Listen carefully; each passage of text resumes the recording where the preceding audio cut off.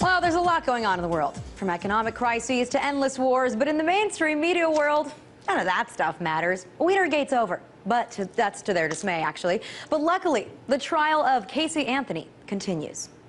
It's breaking news at this hour from Orlando in the Casey Anthony murder trial. The judge recessed court until tomorrow morning. There was supposed to be a full day of testimony today, but proceedings were delayed from the start, and the judge not happy about it. And a bombshell this morning in the Casey Anthony murder trial. The judge pulls the plug on any more testimony today and then scolds the lawyers for both sides.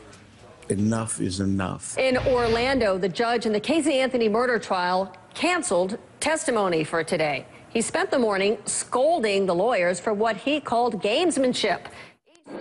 Now, it's been literal non-stop ogling of the girl for the past few months. Ogling and, of course, judging. You know, the moralistic, paternalistic mainstream mob just cannot get enough of showing you pictures of attractive young females and figuring out where it all went wrong. You just wait until the Amanda Knox hysteria picks back up. I've already seen a number of reporters doing live shots from Italy because that's what's worth spending money on to make sure that you have reporters on the ground to cover every last detail. Again, the corporate interests dumbing you down clearly winning out. If they didn't, then do you know what the mainstream media would be covering right now? How about a new report put out by the AP on our nuclear power industry? After a lengthy investigation, what they found isn't pretty, and that's because, as usual, it involves corruption. A collusion between government and industry that's allowed nuclear plants to keep operating despite some incredibly valid safety concerns. And you want to know why they keep operating?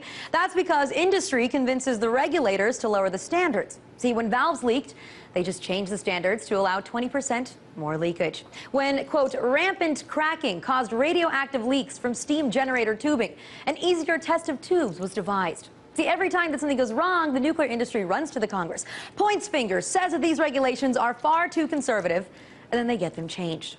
Now, most of our nuclear power stations were built in the 60s and the 70s, and they were only meant to last 40 years. But do you know what else the AP found? That 66 of the 104 operating units have been relicensed for 20 more years. Now, considering what the entire world just witnessed in Japan at the Fukushima plant, You'd think that the media would pay a little more attention to an investigation like this, especially when there's flooding going on right now in Nebraska, right near the Fort Calhoun and Brownville nuclear power plants. Calhoun's been shut down, Brownville's operating at only 30%, and both have described the situation as merely an unusual event. Now, personally, I'd like a little more detail into what's going on, wouldn't you? After the AP's investigation, I definitely don't trust the government to do it, but apparently you can't trust the media either. Could be their laziness, could be the fact that they don't want to actually have to do any investigating, or it could be something else. Like maybe the money that comes from advertisements that play on their news channels. Today, nuclear energy provides one-fifth of America's electricity. Tomorrow, it could supply even more. And nuclear power plants don't emit greenhouse gases, so they preserve our environment. We need to reduce our dependence on foreign energy. And we also need clean air. With nuclear energy, we can do both. Yeah, I'm not totally sure which one it is. Could be both laziness and serving the corporate overlords, but in the meantime, that's what your mainstream media has been missing.